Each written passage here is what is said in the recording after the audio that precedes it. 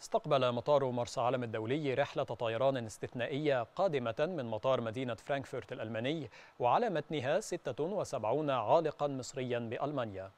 وأكد مصدر بمطار مرسى علم الدولي أنه تم اتخاذ كل الإجراءات الوقائية مع المصريين العائدين تمهيدا لنقلهم لأحد الفنادق لقضاء فترة الحجر الصحي في إجراء احترازي وقائي من فيروس كورونا.